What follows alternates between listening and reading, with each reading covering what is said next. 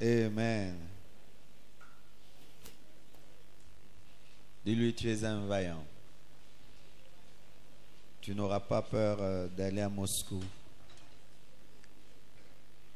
Nous nous tenons debout pour lire les Écritures. Nous sommes dans Jérémie 6, verset 14, Jérémie 8, verset 11. Jérémie 6, 14, Jérémie 8, verset 11. Et vous allez voir que ce sera le même verset qui sera lu, mais dans deux, un, deux chapitres différents. Jérémie 6, verset 14. Je vais même commencer car, par le verset 13, Jérémie 6, 13. Car depuis le plus petit jusqu'au plus grand, tous sont avides de gain. Depuis le prophète jusqu'au sacrificateur, tous usent de tromperie. Ils pensent à la légère la plaie de la fille de mon peuple. Paix, paix, disent-ils, et il n'y a point de paix. Ils seront confus car ils commettent des abominations.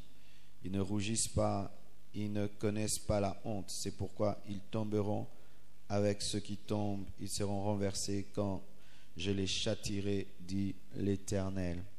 Nous lisons Jérémie 8, 11.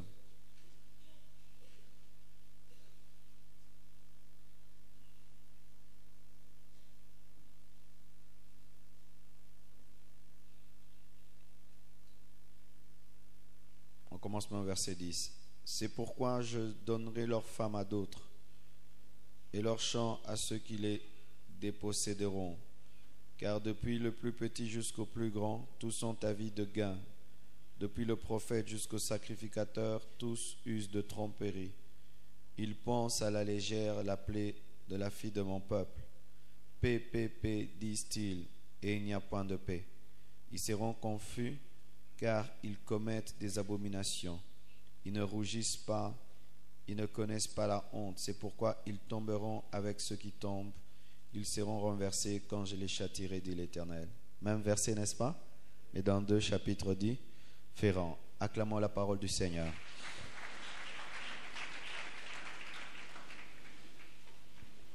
Depuis hier, nous avons commencé ces enseignements sur les blessures intérieures. Amen. Et nous avons dit hier que la guérison des blessures intérieures est une priorité divine. Car selon Ésaïe 6, versets 1 à 4, l'une des missions principales de Jésus, c'est de guérir les cœurs brisés. Jésus-Christ est venu pour guérir ceux qui ont les cœurs brisés ou ceux qui ont des blessures intérieures. Nous recevons l'onction pour guérir et non pour blesser les cœurs. La vérité doit être prêchée dans l'amour et la sagesse pour qu'elle guérisse même en faisant mal. De même qu'on a mis de l'huile dans une plaie pour la soigner, de même qu'on met de l'huile dans une plaie pour la soigner, de même Jésus le bon samaritain envoie son onction dans nos cœurs pour le guérir. Et selon Romains 5, verset 5, nous avons dit que l'amour de Dieu est répandu dans nos cœurs par le Saint-Esprit qui nous a été donné, afin de nous guérir de toute blessure intérieure. Et nous avons défini la blessure intérieure comme étant une faiblesse due à un traumatisme connu par l'âme. C'est une blessure de l'âme. C'est une blessure qu'on ne peut voir avec l'œil ou avec un laser ou un microscope. C'est une douleur du cœur. C'est une maladie de l'âme. C'est une porte d'entrée des démons. C'est un désordre intérieur. Et nous avons parlé des quatre sortes de personnalités. Nous avons parlé des sanguins qui sont très sensibles, des colériques qui sont sensibles, des mélancoliques, plutôt nous avons parlé des sanguins qui sont très extravertis, des colériques qui sont extravertis. Nous avons parlé des mélancoliques qui sont un peu introvertis et des flegmatiques qui sont très introvertis. Nous avons parlé de Pierre comme exemple d'un sanguin, de Paul comme un exemple de colérique, de Salomon comme un exemple de mélancolique, de Jean comme un exemple de flegmatique. Amen. Nous aurons un jour où nous parlerons en profondeur de cela tout un matin. Mais aujourd'hui, je suis toujours en train d'introduire. Lorsque vous lisez la Bible et que vous voyez une répétition, sachez que la chose est très importante. Lorsque vous lisez Jérémie 6, 14 et puis Jérémie 8, 11, vous croirez qu'il y a une erreur de frappe. Comment est-ce qu'on peut mettre dans deux chapitres différents les mêmes choses? Souvent, c'est l'insistance. Quand Dieu répète une chose, c'est dire il insiste. Il veut dire c'est important. Il veut attirer l'attention, de peur que quelqu'un ne puisse prendre à la légère la chose. Le contexte de ces deux prophéties, le voici. Il y avait des faux prophètes en Israël qui, lorsqu'il y avait les troubles, les désordres à cause du péché, venaient et disaient, tout ira bien. Dieu vous a pardonné, Dieu est avec vous, tout ira bien. Et Dieu appelle ces prophètes et ces sacrificateurs qui, par cupidité, donnaient des fausses prophéties, des mauvais médecins. Des médecins qui pensent l'appeler de son peuple à la légère. Et c'est vrai. Lorsque tu te retrouves dans le péché et que je te dis tout ira bien, j'ai bandé tes plaies à la légère parce que ce n'est pas cela que je dois te dire. Je dois te dire, répands-toi d'abord, abandonne et puis tout ira bien. Amen. Alors le peuple avait une maladie spirituelle, une plaie spirituelle, mais que les prophètes et les sacrificateurs traitaient avec légèreté. Et Dieu était contre cela. Pourquoi? Parce qu'en matière de maladie, s'il y a une chose qu'il ne faut jamais faire, c'est traiter la maladie avec légèreté. Une petite fièvre mal traitée peut tuer. Dans ce pays, il y a des gens qui sont morts de malaria, de typhoïde, il y a des gens qui sont morts de maladies qui ne tuent pas les gens en Europe. Pourquoi? Parce que ben, c'était une petite fièvre, c'était rien du tout, mais la personne meurt parce qu'on ne traite jamais une maladie à la légère. Le médecin, c'est Dieu. Le médecin, c'est l'homme de Dieu. Le médecin, c'est aussi toi-même. Il peut arriver que l'homme de Dieu traite à la légère ton problème il puisse te dire que tout va bien, c'est rien du tout alors que c'est grave. Mais peut aussi t'arriver à toi-même aussi de traiter à la légère ta maladie. Car il y a aussi des malades qui sont négligents. Amen. C'est-à-dire que tout est là pour qu'il soit guéri, mais lui-même est négligent. Il ne prend pas le comprimé, lui-même ne veut pas et tout le reste. Donc, il y a la part du pasteur qui te parle et qui doit t'aider spirituellement, mais aussi ta propre part. Pendant 30 jours, je ferai ma part. Mais est-ce que pendant 30 jours, tu feras ta part? Est-ce que tu vas traiter ta plaie au sérieux? Est-ce que tu vas traiter ta plaie au sérieux? Ou bien pendant ces 30 jours, tu viendras remplir tes cahiers, remplir tes notes et puis fini? Non. Chaque fois que nous allons évoluer dans ce séminaire, tu dois te mettre en ordre. Alléluia. C'est-à-dire quelque chose ne peut pas passer et puis tu dis, je le ferai demain. Si tu as la capacité de le faire le même jour, tu le fais. Et je bénis Dieu pour toutes les personnes qui m'ont appelé, qui m'ont écrit sur Facebook pour témoigner disant, pasteur, moi déjà le premier jour, je suis guéri. Oui, car tu n'as pas à attendre au 30e jour pour être guéri. Tu peux déjà être guéri maintenant. Je bénis Dieu. Il y a une sœur qui m'a dit, pasteur, moi aussi je me suis rendu compte que je n'aimais pas mon père parce qu'à l'âge de 20 ans, à l'âge de 20 ans, c'est quand j'ai découvert mon père et il m'avait abandonné. Mais là, je vais l'appeler. Je vais l'appeler aujourd'hui. C'est comme ça qu'il faut faire. Amen. Mais si vous remplissez vos cahiers et si vous dites Amen, gloire à Dieu, le but de ce message n'est pas cela. D'ailleurs, bien aimé en soi, dans ces 30 matins, le but ce n'est pas des bons messages, mais que vous soyez guéris et vous serez guéris. Si par exemple vous appliquez ce que Dieu vous dit. Aujourd'hui, si Dieu te dit de demander pardon, tu demandes pardon. Si te dit de pardonner, aujourd'hui tu pardonnes. Pas dire je vais pardonner demain. Non, aujourd'hui. Sinon, tu traites ta plaie à la légère. Tu bandes ta plaie à la légère. Mes frères et sœurs, la Bible dit ceci. Vous bandez la plaie de mon peuple à la légère, c'est pourquoi vous criez paix, il n'y a point de, de paix. Voici une chose qui arrive partout où il y a une blessure intérieure. Il n'y a pas de paix. As-tu la paix? Regarde ton voisin, dis-lui, est-ce que tu as la paix? Pourquoi tu n'as pas la paix? Les blessures. Simple comme tout. Il dit, vous dites paix, paix, paix, paix. Vous bandez même la plaie, mais il n'y a point de paix. Au contraire, il y a des tourments, il y a la malédiction. La paix est un signe de guérison et le manque de paix est un signe de blessure. Pourquoi ton âme n'est jamais en paix? Quelle est la dernière fois que tu as senti un vrai bonheur? Est-ce que tu t'en souviens? Est-ce que tu te souviens de la dernière fois que tu as senti la paix, le bonheur Je me souviens un jour, un frère de cette église m'a dit quelque chose qui m'avait marqué parce que c'était vraiment une bonne manière de définir la paix. Le frère Babi, un jour, il m'a dit, Pasteur, aujourd'hui j'ai senti les gens de paix là qu'on sentait qu'on était des enfants. Vous connaissez ces paix là Où tu ne penses pas payer la maison, acheter la nourriture, facture, les études. Vous connaissez ces paix qu'on avait quand on était enfant? Quelle est la dernière fois que tu as senti ça Pourquoi tu n'as jamais senti la paix alors que tu es en Jésus? Pourquoi tu n'as jamais eu la paix alors que tu dis que tu as reçu le prince de paix?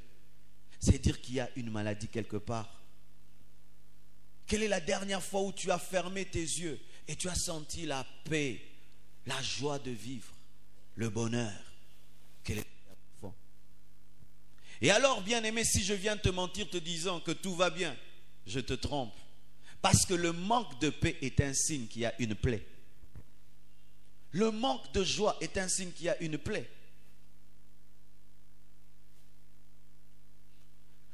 Vous pouvez voir quelqu'un qui est pauvre, mais il a une paix que le riche n'a pas.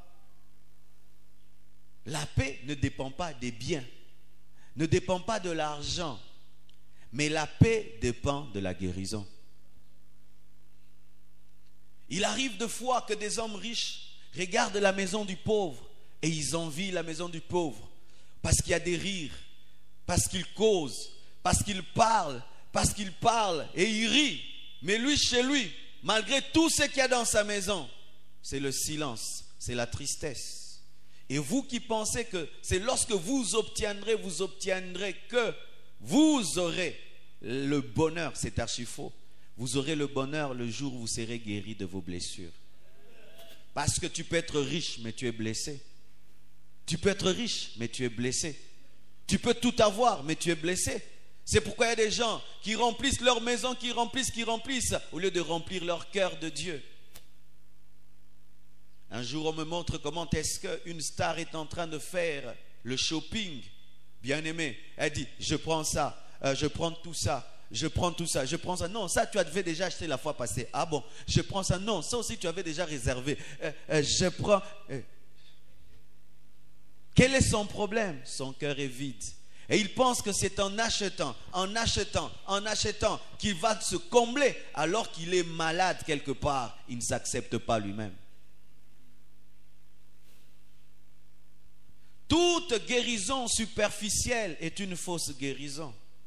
Penser à la légère, c'est au lieu d'aller en profondeur, là où la plaie profonde et fait mal, on a peur de blesser. Et là, on met seulement un peu de pansement, un peu de pommade. Mais au fond, la plaie demeure, mais en superficie, dans la, euh, euh, euh, superficiellement, elle semble être guérie, mais au fond, la plaie est toujours là. Et il arrive des fois aussi de faire semblant d'être guéri, de faire semblant d'être heureux de faire semblant d'avoir la paix.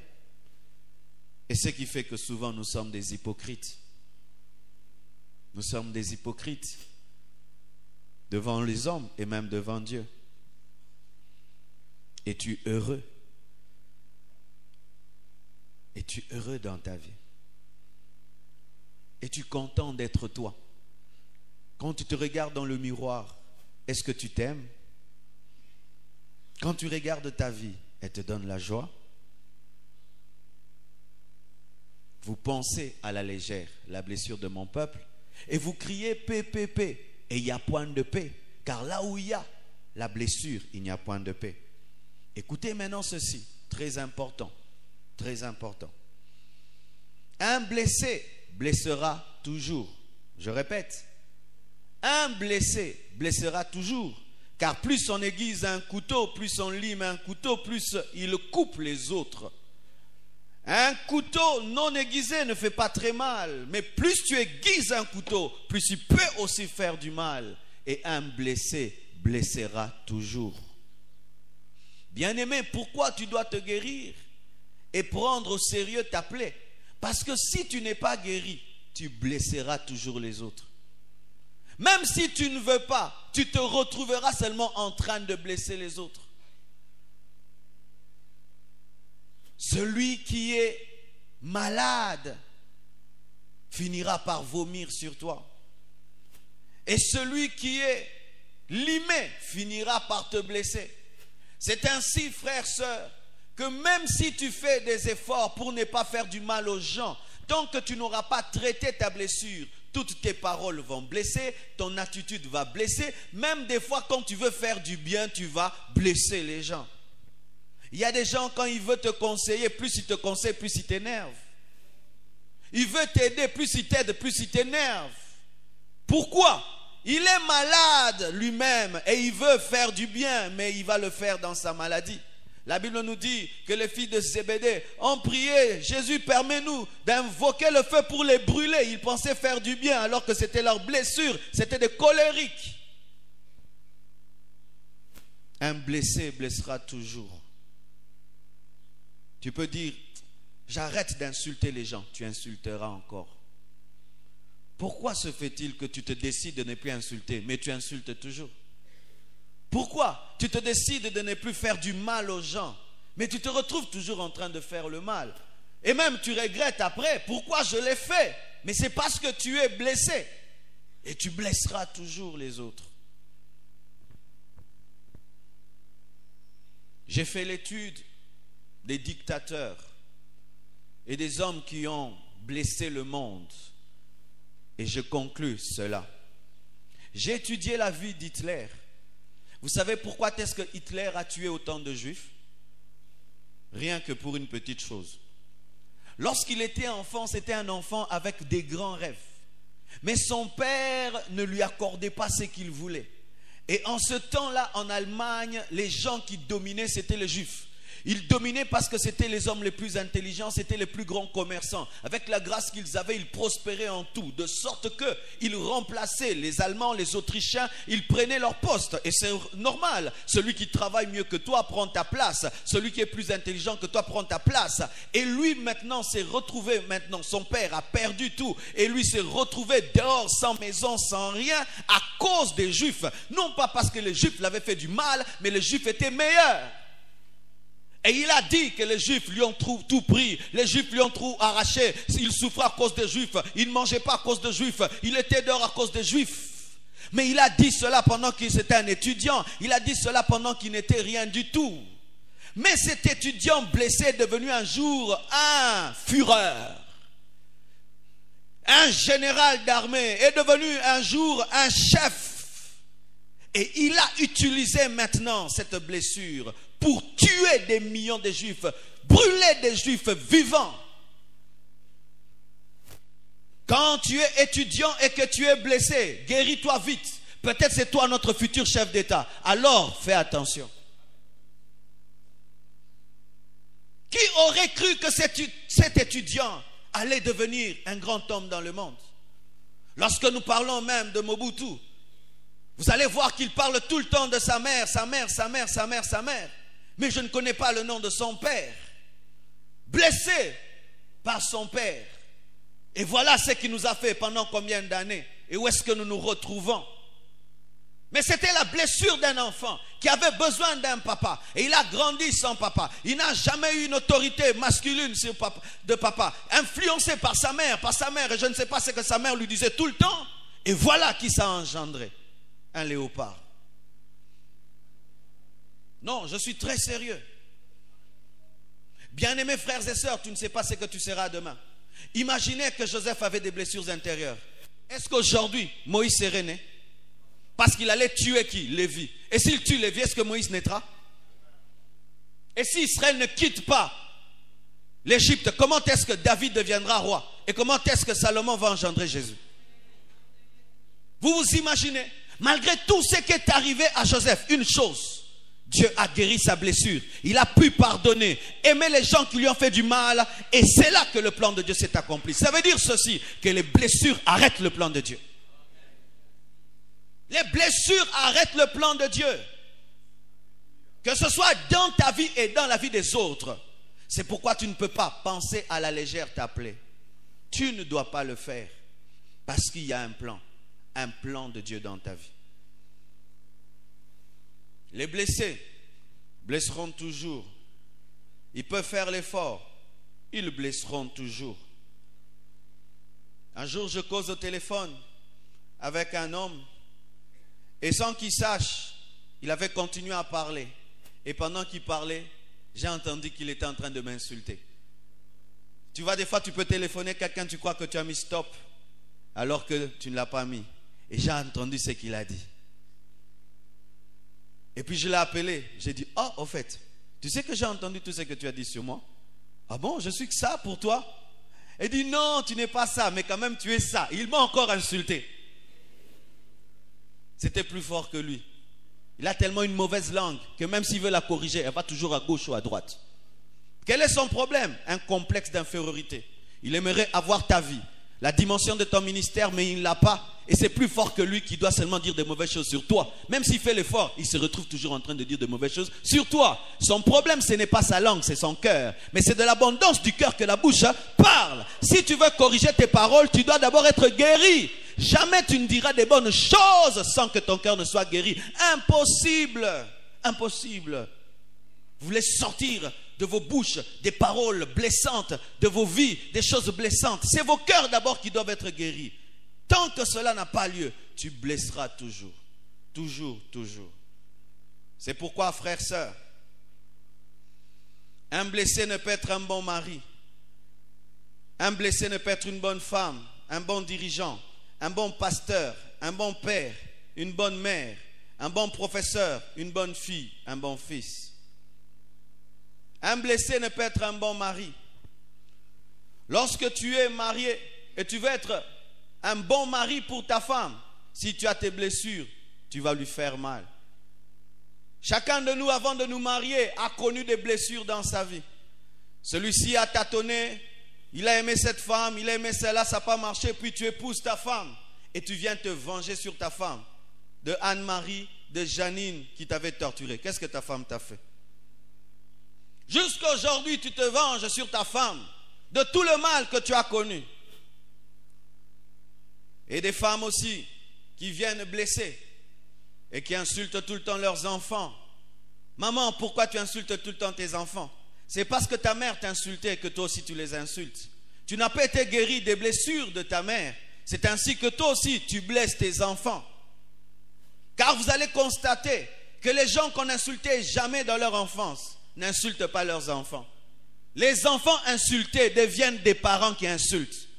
Et c'est l'une des choses aussi qui est cause de grandes blessures dans la vie. Lorsque ton propre père, ta propre mère qui t'a créé, qui t'a engendré, t'insulte, elle te programme à insulter.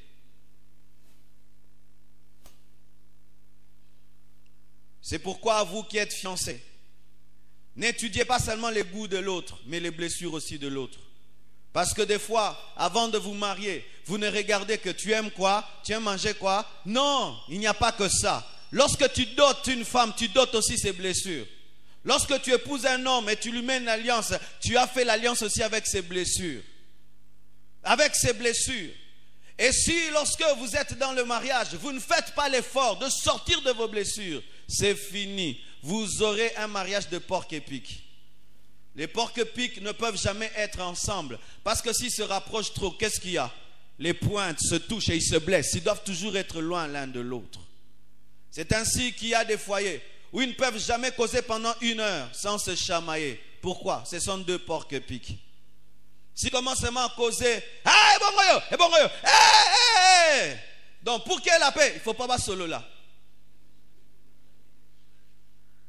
Et même les enfants sont contents. Miko Kimieza, boss laté. Nzamba kumama, nzamba sala laté, pardon. Hmm. N'est-ce pas que c'est comme ça chez vous? Non, hein? Quand papa voyage, on a la paix à la maison. S'il revient, bou, bou, bou, bou, babandi.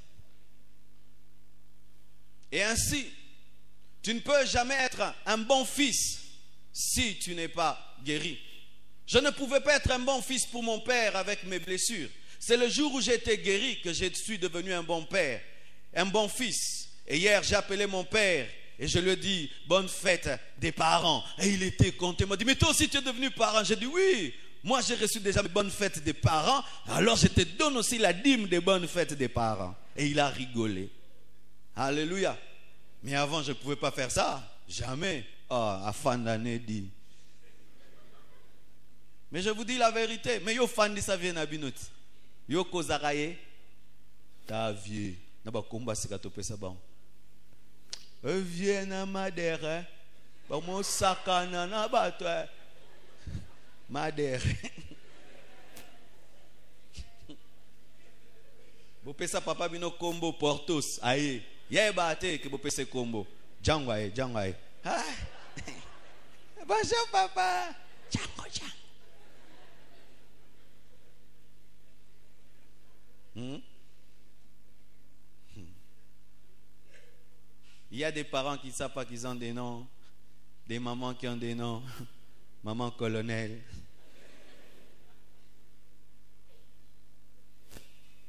Jamais tu ne peux être une bonne fille si tu es blessé. Jamais tu peux être un bon pasteur si tu es blessé. Je suis allé dans une église et j'ai fait un voyage d'un mois et j'ai suivi le pasteur, comment le travail évoluait. Et puis je lui ai dit, pasteur, tu sais, c'est toi qui empêches cette église de grandir. Oh, pourquoi? Tu as des blessures intérieures. Chaque fois que tu as la chair, tu te plains.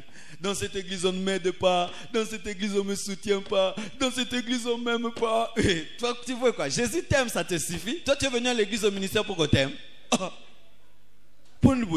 Yo, quand ça, nous avons bébé église. Bébé pasteur basokisinga ebuye ebwe kembisa mutema oza soda.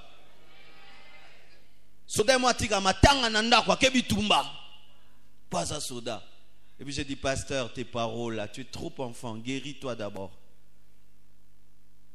Tu ne peux jamais être un bon dirigeant si tu as des blessures intérieures parce que tu vas utiliser ton autorité pour te venger.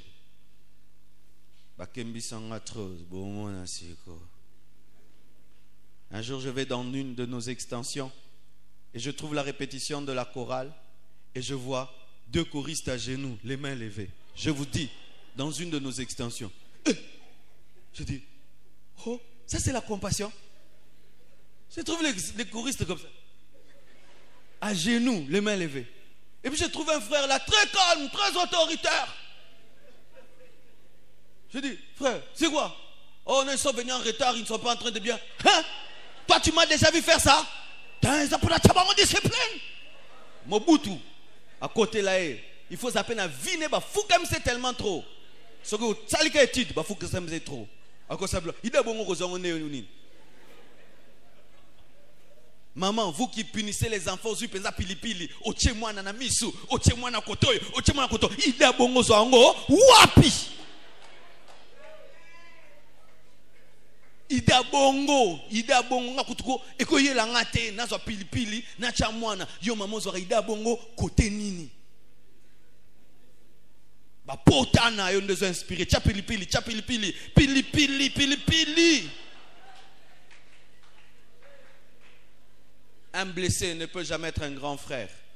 Grand frère quand tu tapes tes soeurs et tes frères il faut voir hein, comment tu les tabasses.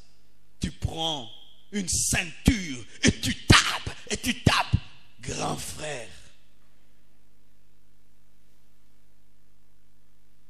Son père, sa mère qui l'ont engendré, n'ont jamais tapé ainsi. Mais toi, le grand frère, faut voir comment tu les tabasses. Mais tu vas remarquer de tels grands frères souvent ne sont pas heureux dans la vie. Vérifiez. Tous les grands frères qui tabassent les autres, regardez, ils n'ont pas de joie de paix. Mais les grands frères qui réussissent dans la vie, ils aiment bien donner les conseils. Viens un peu. Tu vois, la vie, c'est comme ça. Tu vois, moi, j'ai réussi parce que j'ai été comme ça. Mais ma grand frère, je suis trop na vie. Ne ba betaka. anso azobeto te aza nkanda vi na ye alors azoluka bisika nini abimisela yango alors kanda na ye ekutani na erreur na yo ah ozwi te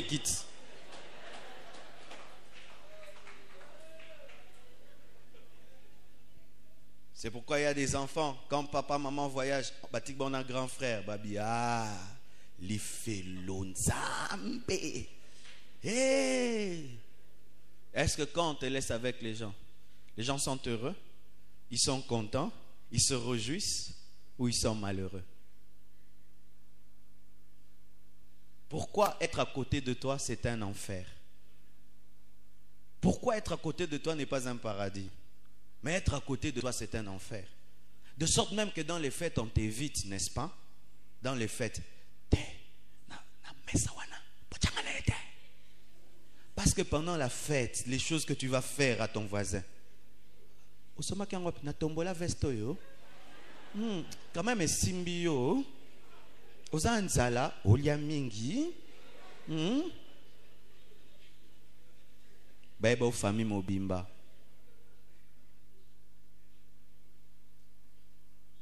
Pourquoi les gens ne te visitent pas? Pourquoi les gens ne viennent pas dans ta maison? Pourquoi Tout le monde va chez l'autre sauf chez toi? Pourquoi Tout le monde a des amis sauf toi? Pourquoi les autres se font facilement des amis sauf toi? Des fois tu dis j'ai des principes, c'est pas vrai. Les principes c'est quand il y a beaucoup de gens qui viennent, toi tu chasses. Mais toi, personne ne vient. Tu n'as chassé personne. Oh, j'ai des principes. Ah, oh, principe. Qui vient? Non, Zaka camarade, nous pas mon principe. Euh? Non, non, ya. Non, Luko qui camarade. Camarade Anbeli. Non, Zaka camarade Gillette. Et ainsi, tu te retrouves dans la solitude. Tu te retrouves seul. Pourquoi? Les gens ont peur de ceux qui blessent. N'est-ce pas? Est-ce que tu peux aller dans un endroit où tu as blessé 50 fois? Non, tu partiras. Jamais un blessé peut être un bon père, peut être une bonne mère, un bon mari, une bonne femme, un bon dirigeant, un bon pasteur, un bon professeur. Oh, j'ai eu un professeur dans ma vie.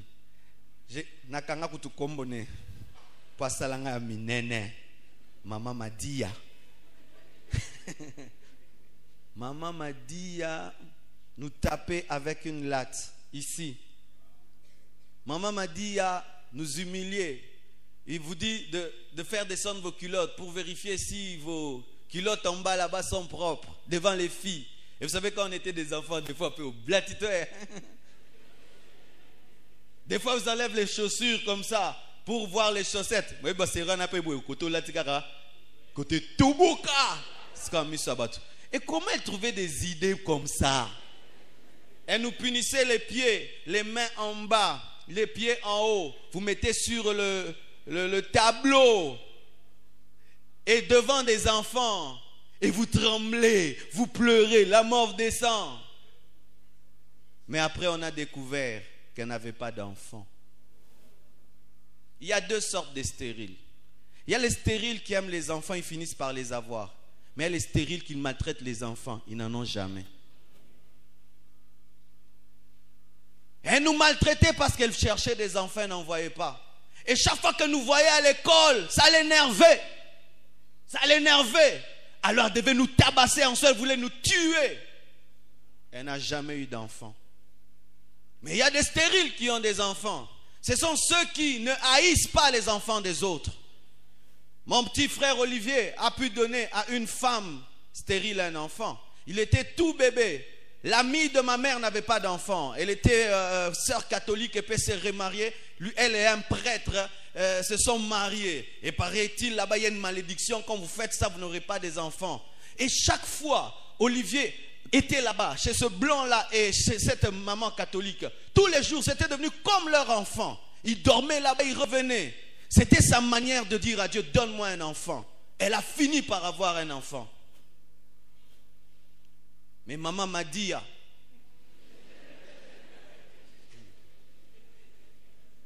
elle, les enfants de les autres, au lieu que ce soit un signe de foi pour elle, c'était un signe que Dieu l'avait maudite, alors que non.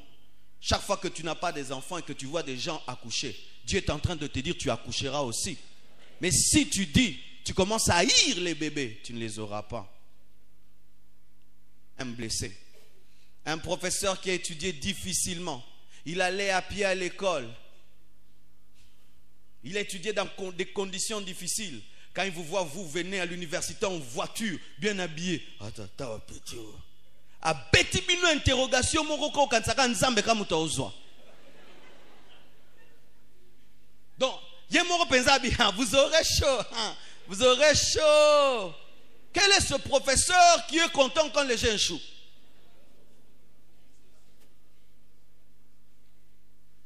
et même dans le ministère nous avons souffert dans le ministère. Sérieusement, sérieusement. Mais si tu n'es pas guéri des blessures du ministère, tu ne peux pas élever tes fils. Comme ça, l'église devient jolie comme ça. Et puis frère prêche. Ah, ah, yeah. Nous, on va passer à Aïna ba collaborateur. Aïna binote. Agnon kwama. Bosambele la bika. Aopé sa bino cher. Frère, toi, tu as déjà gêné? Hmm? Mais les enfants d'aujourd'hui sont trop pressés. T'es pota, papa. Parce que nous souffrons pour que la génération future ne souffre pas. Alléluia. Je souffre aujourd'hui, mais Oracle ne souffrira pas. Et aujourd'hui, je peux commencer une église, je donne 100 chaises, je tolle pour eux, je donne la sonorisation. Parce que moi, j'ai souffert pour qu'ils ne puissent pas souffrir. Mais si je n'étais pas guéri, ah, Pasteur Bishop, Guilain, napeso kiti. Côté Nino. C'est pourquoi certains leaderships sont dirigés par les blessures. Dieu m'a dit, Dieu lui a rien dit. Ces blessures viennent de lui dire. Les gens blessés voient des ennemis partout.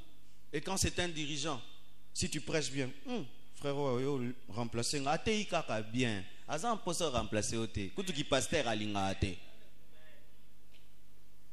Tu vois partout des ennemis. Partout. Pourquoi? Ce sont tes blessures. Et une autre chose. Une église de blessés aura toujours un problème d'unité, d'amour, de communion fraternelle, de soumission et de croissance. Bien aimés, vous voyez comme nous sommes là. En ce moment-ci, ce n'est pas vraiment trop, trop, trop l'église. Là, c'est un homme qui enseigne et vous écoutez. Mais l'église commence quand on dit Amen. N'est-ce pas que c'est quand on dit Amen que les problèmes commencent à l'église? C'est quand on dit Amen de voisin Oyo, à Télémi, à PC Mbote. Vous savez là, bon matin hmm? Est-ce que vous avez une boule à PC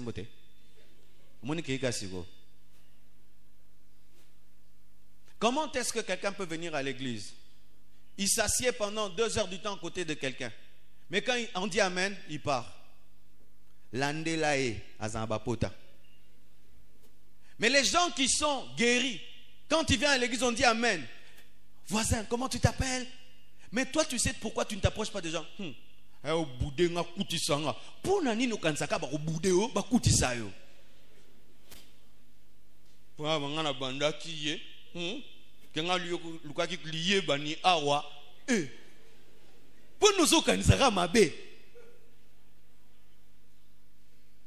Une église de blessés aura toujours un problème d'unité. Il y aura ce groupe qui parle du mal de ce groupe-là, ce groupe-là contre ce groupe-là, ce groupe-là contre ce groupe-là. Mais en ça, c'est quoi? Des blessures. Des blessures que vous transportez de vos familles, de vos maisons, vous les amenez jusqu'ici et nous nous les subissons. Le jour où on a proclamé les résultats des élections et que tout le monde pensait que tel allait gagner et que c'est l'autre qui avait gagné, le culte de ce jour-là, est-ce que j'ai pu prêcher? J'ai demandé à Pasteur Guilain.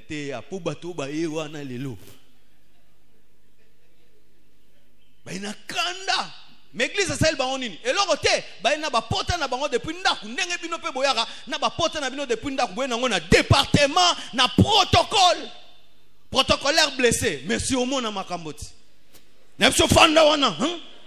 omoni ya ndako na yo. Fanda di boni koso boyisonga ndako e protocolaire. Yo ozozongisa bato na ndako obendaki ye biso togene toprie mpo aya totie bafiche yo kaka mpo atosi yo te na bablessire na obandi ozongisa bato na ndako zonga yo na ndako ya soki osepe na kito ya te omoni yo epa bino. Omoni yo ya cinéma?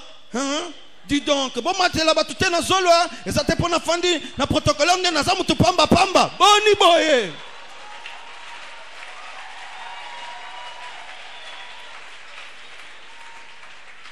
bapota na yo porte ya église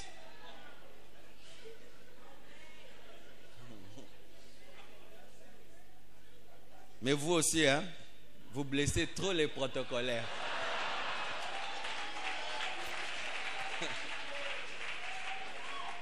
ah oui hein vous aussi vous aussi une église des blessés il y aura des blessures il y a des gens quand ils viennent à l'église il est tellement impoli chez eux, même à l'église.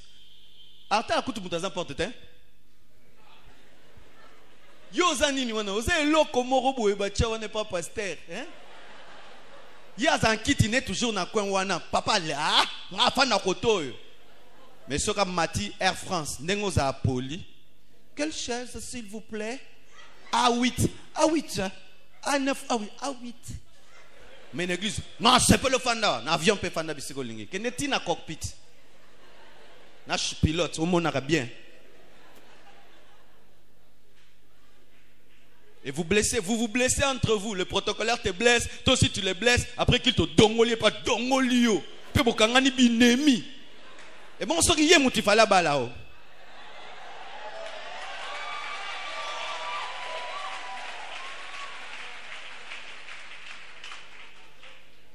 des modérateurs blessés. Tu viens à la chair. Tu sais le lot, tu es kana kanda non andao. Nazoe sabino amen bozo répondre ngate. Na telema. Nini boy, tu za ndako hein? Bika nanu papa avant matawa. Avant matawa, donc nzama bikisi yo eh. Atoza ba kamona o, tika wana kiti. Awa te ya batu. nayemba bolingi te nasambelisa bino bolingi te bolingi nini bozonga na ndaku dere nakangi église nakangi église nakangi église bofanda bandao na bino nakangi église blessé tu es dans cette église tu as combien d'amis? Tu as combien d'amis? Je me rends compte que vous n'avez pas beaucoup d'amis. Vous savez pourquoi? Quand on fait les mariages ici. Quand on fait les mariages, si les familles ne viennent pas, je ne vois pas l'église venir. Les gens qui attirent des foules le jour des mariages, ce sont les gens qui chantent, qui sont connus. Mais c'est rare de voir un frère simple qui se marie et ici c'est rempli.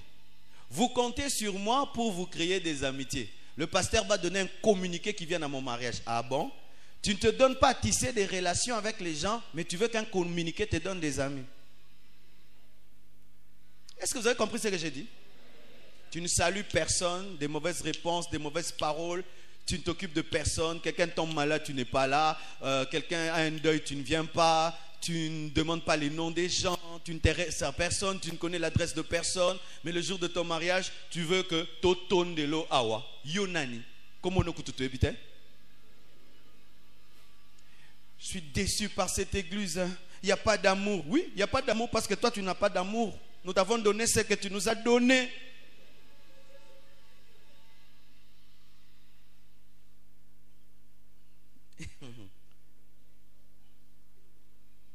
Oh, je suis tombé malade, personne n'est venu.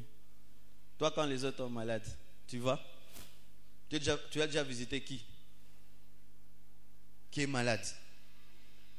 Si le frère tombe malade, tombe malade, tombe, tombe malade. Tu les as déjà visités.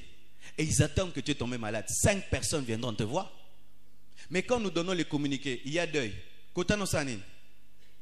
makanisina zong sa onanda kunan. Matanga, wana ngate. Oh, tel frère est malade. wana yanga te. Mais jour yo okomi koluka biso toya. Nga kutu trop occupé. C'est pourquoi vous n'avez qu'une relation qu'avec le pasteur. Si le pasteur ne vient pas qui vient par amour te voir? Qui vient te voir par amour?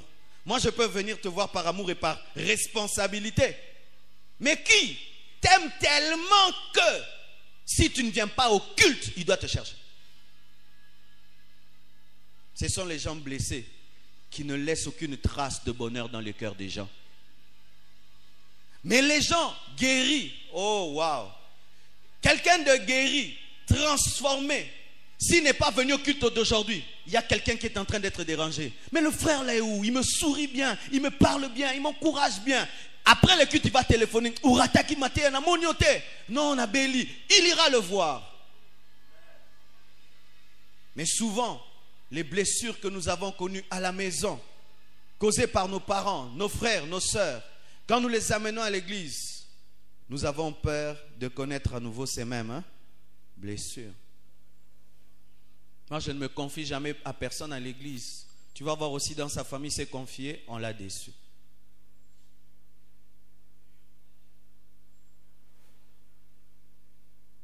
Vous avez même du mal à vous engager, même à l'église.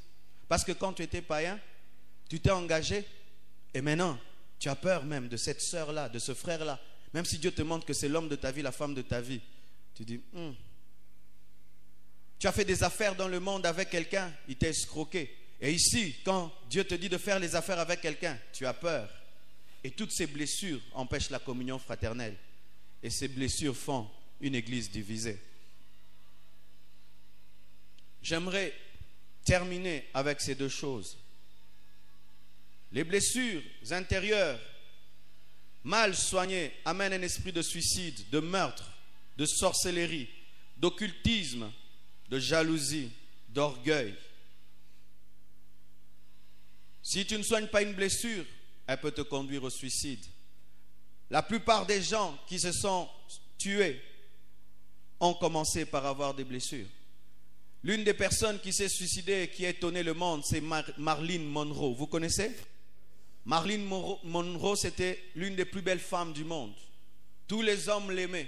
Tout le monde l'aimait. Elle était belle et tout le reste. Mais malgré qu'elle était belle, aucun homme ne restait avec elle. Belle, mais personne ne reste avec elle. Celui-ci vient, il part. Celui-ci vient, il part. Celui-ci vient, il part. Et malgré qu'elle était belle, elle avait un problème d'estime d'elle-même. Elle est belle, mais ne croit pas en elle. Elle ne croit pas en elle, elle ne croit pas en elle. Elle se droguait, elle avait du mal à dormir.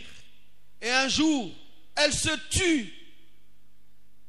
Mon frère, ma soeur, les gens qui se sont suicidés, c'était des personnes comme toi, mais n'ont pas traité en profondeur leurs blessures et un jour se sont retrouvés de l'autre côté. Les blessures intérieures peuvent amener même à l'occultisme, à la sorcellerie. Frères, sœurs, certaines personnes que vous appelez sorciers, occultiste, c'est une blessure. Son père lui fait du mal, sa mère lui fait du mal, la famille le rejette.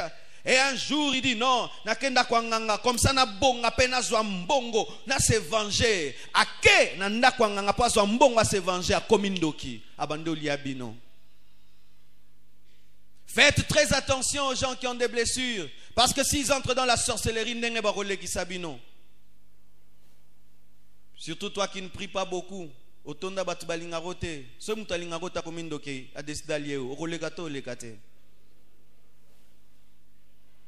Lorsque quelqu'un devient sorcier qu'on lui demande de donner quelqu'un il commence par tuer qui?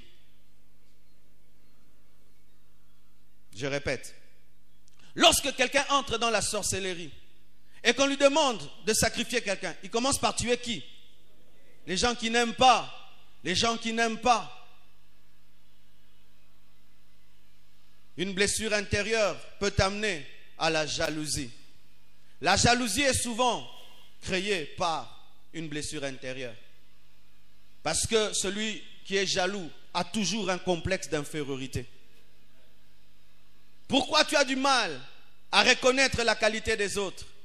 La bénédiction des autres, ce que les autres sont devenus. Tu dois toujours les rabaisser, les rabaisser. Tu sais, on ne rabaisse les autres que si on se sent petit. Mais quand on est grand, on élève les autres à son niveau.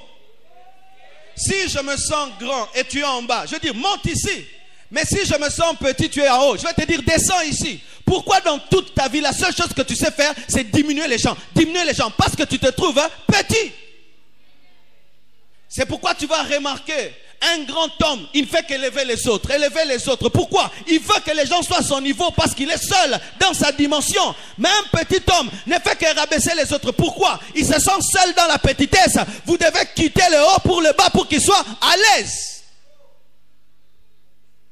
Pourquoi tu es si jaloux dans ta vie? Pourquoi tu es si jaloux? Au point même que tu fais des retraites de jalousie, des jeûnes de jalousie. Nzambe pambolango kanisa ye nzambe. Nzambe pambolango kanisa oh nzambe pambolango kanisa ye. Certaines personnes moni azomatama ngengenge okanisi onction moto etindi ye. Zuwa moto ezomatisema ngengenge zuwa ematisi ye mangengenge esambelisi ye makasi avibre aparla langue mais zuwa Mais je vois des fois, quand nous bénissons les mariages, on dit faites une raie d'honneur à gauche, à droite. Même des gens pour quitter ces mains, qui ne Bonico, ils ont tout les là-bas. Les cas. Eh. Et quand l'autre passe, des fois je regarde les sœurs, ils regardent toujours la robe. Il y a moins cher. Et simbiété. Les hommes, oh kutu barepasa yango bien te eza sali te ye mpenza ye nani adekore mabe boye mm. ocoiffure nini. Mm. atoki mingi e aosekaseka nini o estce marie asekaka ye mpe mpona oseka te marie fo aseka olingi nini zuwa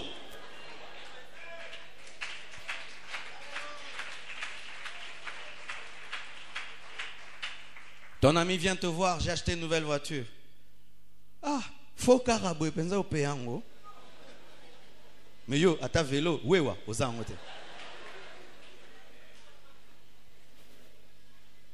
les blessures. Mais bizarrement les blessures donnent aussi l'orgueil. Oui un complexe de supériorité. Certaines personnes que vous trouvez très orgueilleuses en soi ce sont des personnes blessées qui veulent cacher leur sentiment de faiblesse dans un sentiment de grandeur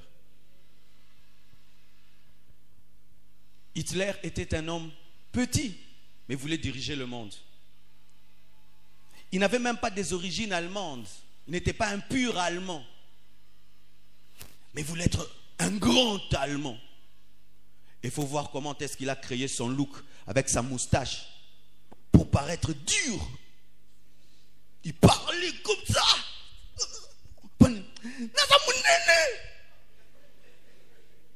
Toujours comme ça. Pourquoi il se sent petit? Pourquoi es-tu si orgueilleux? Tellement orgueilleux.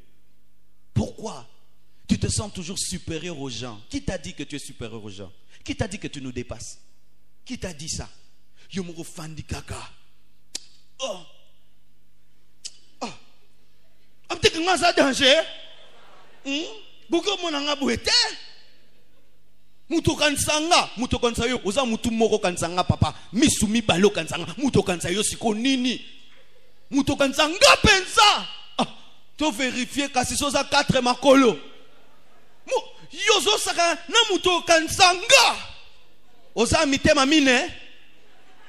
Ablage na mutu okanisa nga. Oza bleu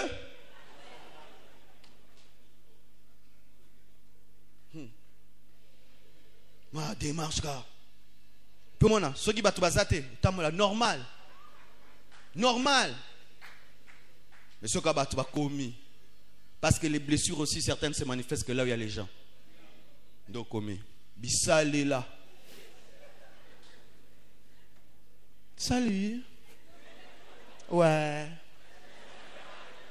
C'est bon oza bokono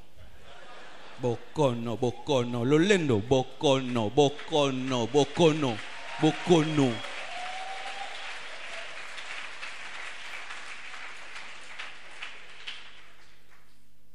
Lucifer, Dieu le crée, un ange extraordinaire, un archange.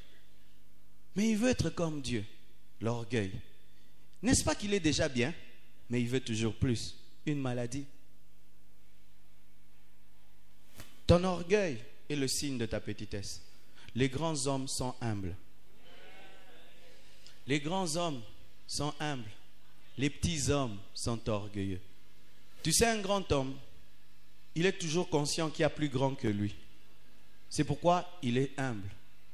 Mais les petits hommes pensent qu'ils sont les uniques, alors qu'il y a toujours plus fort que lui. Pendant que tu es en train de croire que tu as battu les records du monde, quelqu'un chez lui à la maison le bat tous les jours. Pendant que tu te trouves extraordinaire, ce que tu appelles extraordinaire, quelqu'un d'autre c'est devenu ordinaire. C'est pourquoi, frère, sœur, fais vite, soigne bien tes blessures. Ne pense pas t'appeler à la légère, sinon tu n'auras jamais la paix. Dis ça à ton voisin. Ne pense pas t'appeler à la légère, sinon tu n'auras jamais de paix. Que Dieu vous bénisse abondamment.